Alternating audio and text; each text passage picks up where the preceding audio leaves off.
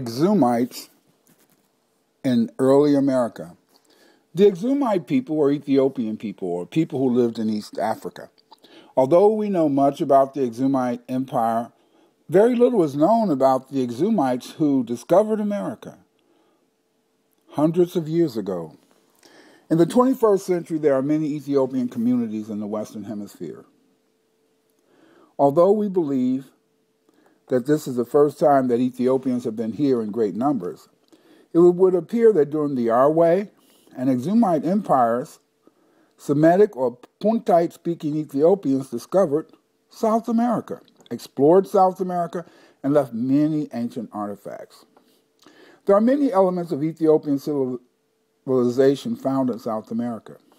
Between 1300 BC and AD 600, blacks from East Africa and Asia began settling in South America.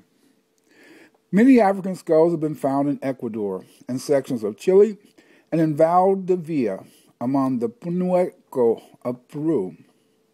Carlos Marquez in Estudios Arqueológicas y Etnográficas notes that it is good to report that long ago the Euphoramerica was also a Negro continent. Marquez insisted that the Otomis of Mexico, the Caracola of Haiti, the Aqua, of Culara, the Aravos of Orinoco, the Porcillas and Matayas of Brazil, Manabis of Quito, the Chuanas of Darien, and the albinos of Panama are the remains of the former African tribes that settled, civilized, and lived in the Americas. Ecuador has provided much archaeological evidence for the presence of Africoids in South America. One of the greatest finds was a magnificent stone head of a male wearing a circular earring on his right ear. This head is similar to the carving of Akhenaten. Dr. von Wuthenau had identified this figure as representing the Negroid element in pre-classical Ecuador. Jacinto Caamaño notes that of the skulls discovered in Ecuador, many were blacks, especially among the Mochicas.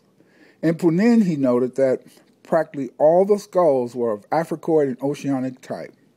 And at Tiahuanaco, Peru, there are numerous carvings of blacks that have been discovered. Moreover, persistent oral traditions around Lake Titicaca recall the bearded people who were exterminated by Indians. These bearded people were Africans. According to Lanning, there was a possible movement of Negritos from Ecuador into Piura Valley, north of Chicama and Viru. He believes there is a relationship between this culture and the Valdivia site, which was active from 1800 BC to AD 100. Dr. Dixon said Valdivia was inhabited by Africoid people. There are many correlates between Ethiopia and early Ecuador and Peru. In Peru, on ceramic pots, large double deck boats are depicted, which are almost identical to the papyrus boats used in the Proto Sahara and ancient Punt. On the lower deck of the boats are painted a number of water jars and other cargo, along with rows of people. On the upper deck, there stood the earthly representation of the sun god Ra, the same as the sun god of Meroe in Egypt, surrounded by birdmen who were handling the ropes to propel the ship through the water. The interesting thing about these pictures is that they are almost exact replicas of scenes depicted on the Egyptian pyramids. Today, boats made of bundles of reeds lashed together are found in Ethiopia. Along the Peruvian coast and at Lake Titicaca, where tradition has it that bearded men were destroyed by the local Amerindians.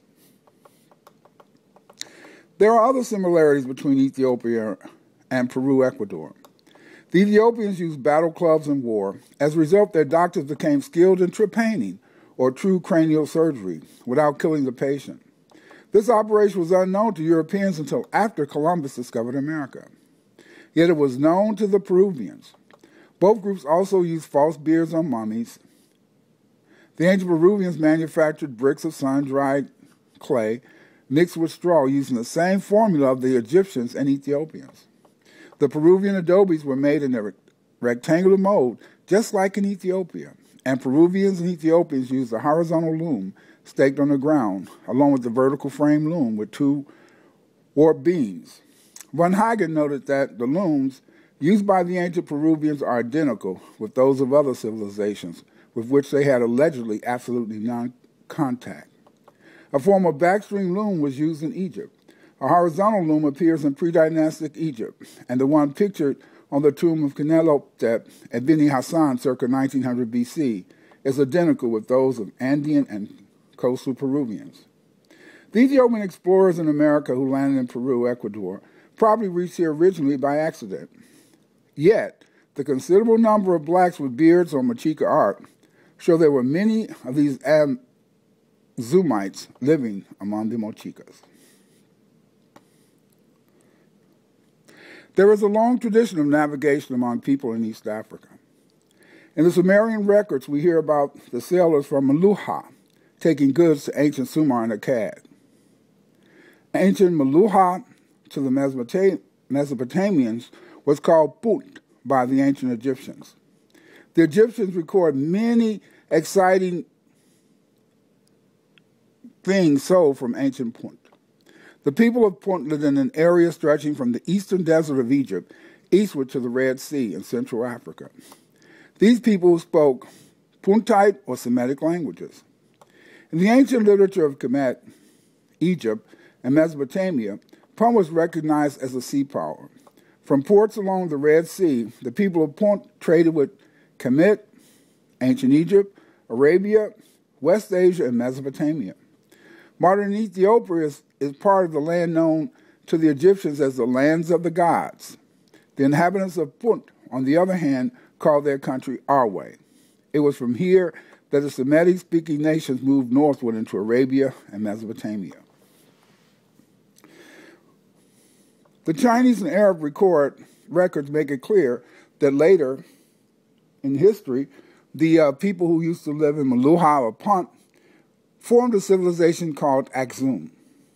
The Chinese and Arab records make it clear that the Axumites made many long voyages in the Pacific and Indian Oceans. These sailors made these voyages in mid ocean, not coasting near the shore.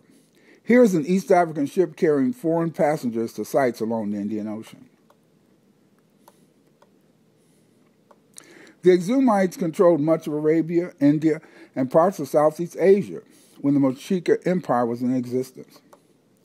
We can hypothesize that a group of Ethiopian merchants, probably on voyage to China, Sri Lanka, or Malaysia, or on a military campaign to put down a rebellion in one of their Indian Ocean colonies, was captured by the equatorial countercurrent in their papyrus boats and carried to Peru, Ecuador. Merchants from Axum made long voyages in the Pacific and Indian Ocean. The Exumites probably landed in the sparsely populated area in Peru, Ecuador. In these areas, they would have met little resistance from the local Amerindian groups, who saw them probably as giants. This was due to the fact that the uh, Axumites would have maybe been taller in height. The experience of Axumites in other uh, parts of the uh, parts of uh, the Indian Ocean would have meant that when they came, they would have been very much prepared for an encounter in these areas. We can hypothesize that a group of Ethiopian merchants, probably on a voyage to China, Sri Lanka, or Malaysia, on a military campaign to put down a rebellion in one of their Indian Ocean colonies, was captured by the equatorial countercurrent in their papyrus boats and carried to Peru, Ecuador.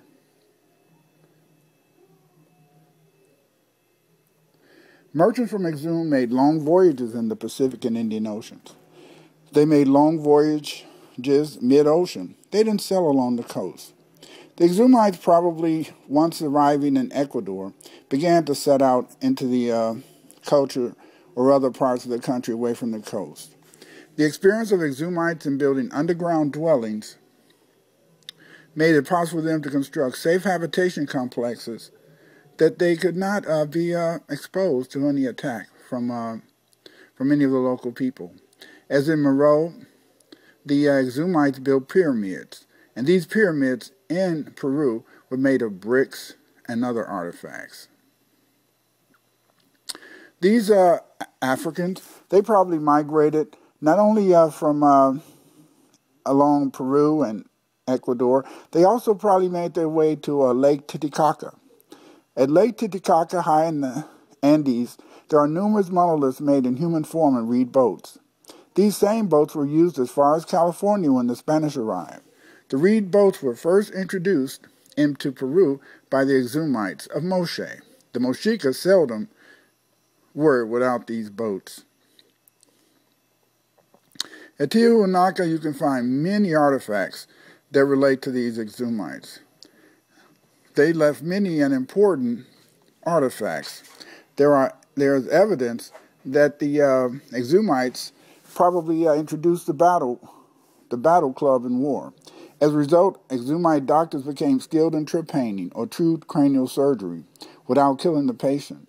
This operation was unknown to Europeans until after Columbus discovered America, yet it was known to the Peruvians. Both the Peruvians and the Exumites used false beards on their mummies. The ancient uh, Peruvians manufactured bricks of sun-dried clay mixed with straw using the same formula that the Egyptians and Ethiopians did. It is interesting to note that the Peruvian adobes were made in a rectangular fashion, just as those as houses in in um, ancient Ethiopia. In South America, an ethnic group called the Quechua speak a language which is analogous to languages spoken in the Pacific and India. The Quichua Amerindians has an oral tradition which records the entrance of the Exumites in ships made of reeds or rushes that landed from the Pacific coast off Point Santa Elena, close to Puerto Viejo, in extremely remote times. They said, and I quote, that we had a tradition from our parents. These giants from the sea were so great in stature that from the knee down they were as tall as a tall man. It was amazing to see how the hair hung from their great heads to their shoulders, yet were they beardless. They ate, probably meant they could fight, more than fifty ordinary men. Their eyes were big as plates, como picueros platos. Their arms and legs were proportionally huge. Some were clad in skins of animals, others quite naked. No women came with them. Going inland, they ravaged the country. And finding no water, these builders in great stone set to and sank an immensely deep well in the living rock. And today, in AD 1545, the water of this ancient well is so clear and cold and wholesome that it is a pleasure to drink. This well made by the giants was lined with masonry from top to bottom. And so well are these wells made that they will last for ages. This was a comment by one of the uh, Spanish explorers who happened to uh, ask the Indians. One of the uh, major sites of these blacks was Tiahuanaca. Wilkins, Wilkins believes that these giants helped build Tiahuanaca. Commenting on the inhabitants of this ancient South American city, he noted that they were a reddish skinned race though among them as remarkable statuary dug up from the ruins show were also black men with prognathic features. One splendid piece of terracotta depicts in beautiful colors the high priest of the sun with remarkably Egyptian eyes and having on his fine large forehead a mitra and the sign of evolution called by the Bolivian archaeologist El Simbolo Esconado.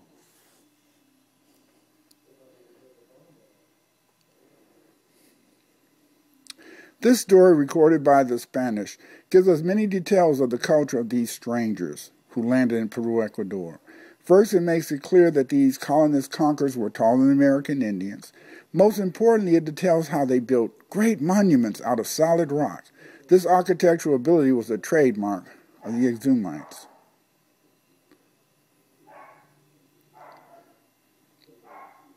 A center of uh, Exumite civilization was the so-called Mocha, Mochica civilization. On the Mochica pottery, these giants are depicted with black faces. At St. Augustine near the Colombian border, we see statues portraying these giants with African features.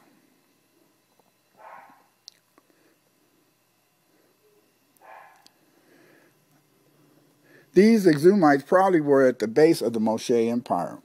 The Moche Empire extended over 220 miles along the North Peruvian coast. It lasted from AD 100 to 700 AD. They farmed irrigated fields of corn and beans and ate llamas and guinea pigs. The Moche or Mexica built pyramids and adobe bricks. One of the uh, people who did a lot of work at these sites was uh, Dr. Larco Hoyle. Dr. Larco Hoyle, in his, in his work, has left us many beautiful sculptures and pottery that depict these Africans. He found that during his research that many of the skulls of the Mochica people were of African blacks. The Mochicas were warriors, messengers, weavers, and doctors. They built roads and organized the courier system, which was later adopted by the Incas. The Exumite weavers of South America usually produced goods on a mass scale. The ahuanas used by the Mochicas came directly from Africa. Van Hagen notes that the looms used by the ancient Peruvians are identical with those of other civilizations with which they had absolutely none, no contact. A form of backstrap loom example, for example, that was used by the Peruvians was also used in Egypt and ancient Kush.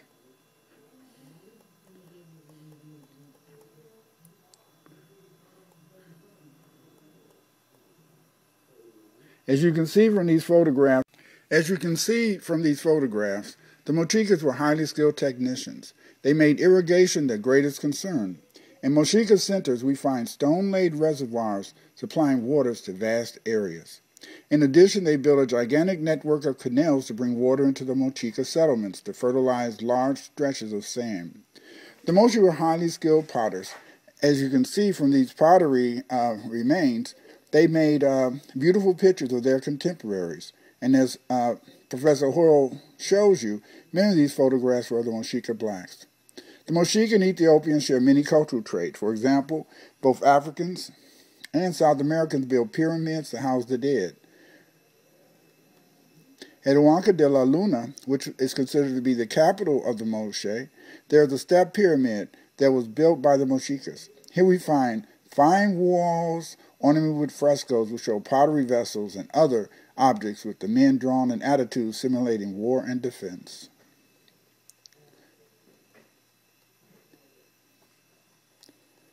The Mochica Society, as I said earlier, was organized militarily. There was a rigid system of labor organization. There are many scenes of uh, Moshe pottery makers that reveal that the uh, that the Moshe had the ability to create and do uh, various interesting things, especially uh, this uh, brain surgery, which had to have been necessary due to the use of the war club.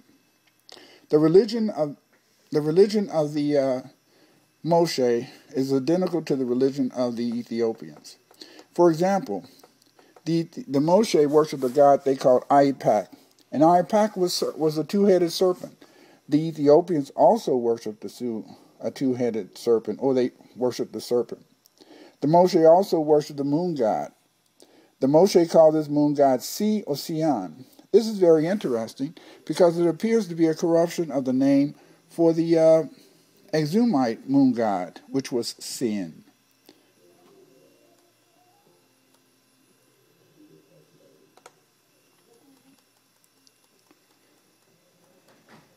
Moshe men made many uh, wore turbans on their heads or, or caps.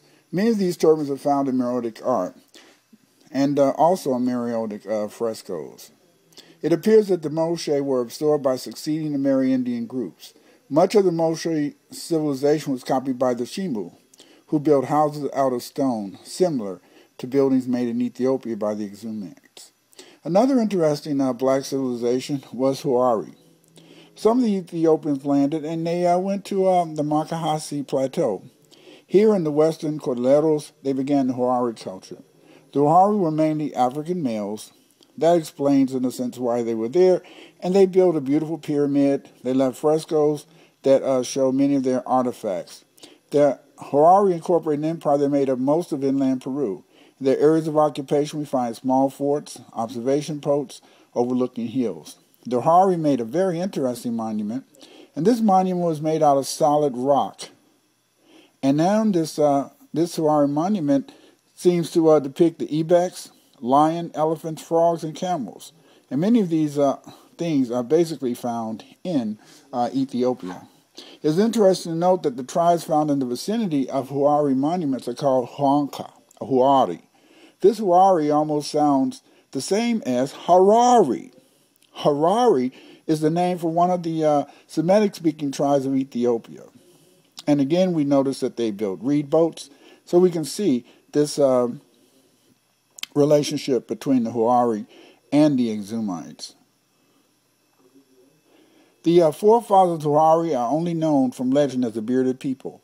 The monuments show they were Africans, and the term Huari seems to sound almost the same as Harari, the name of the Ethiopian group. Berlin believes that the large ceremonial center in South America called Tiwanaku may have also been a religious center. Here we find at Tiwanaku many, many examples of uh, Africans in the art.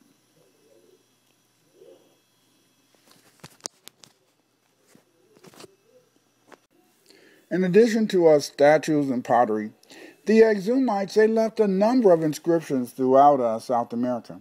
One of the most interesting uh, inscriptions is a inscription near the town of Palpa, some 20 kilometers northeast of Nazca. I know many of you have heard of the Nazca lines in Peru. Here we find an ancient inscription of lines that can be read in the Ge'ez language of Ethiopia.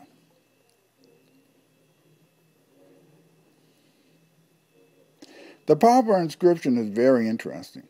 It is written in uh, in an uh, Ethiopian language, and the translation is as follows: Come carve, dig down into the earth, pacify, control, and increase the waters, make them flow, flow forth into the region, gaining grace and favor.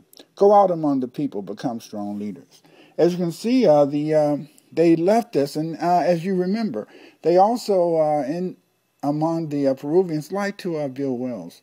In addition to this inscription from Nazca, we also have, in a sense, several inscriptions from Ecuador.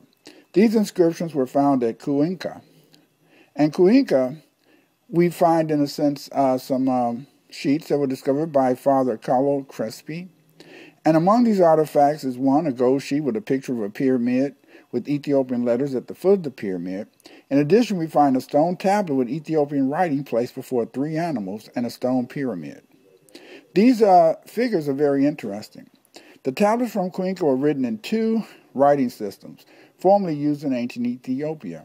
The two, the two stone tablets were written in the Tigrinya language, while the inscriptions written on the metal sheet, which has the figure of the lion, a serpent, a pyramid and elephant a series, has a series of Thamudic inscriptions.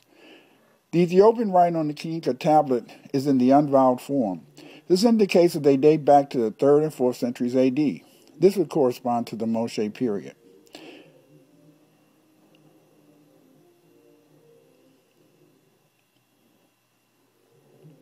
Here we see the uh, the, the muted artifact.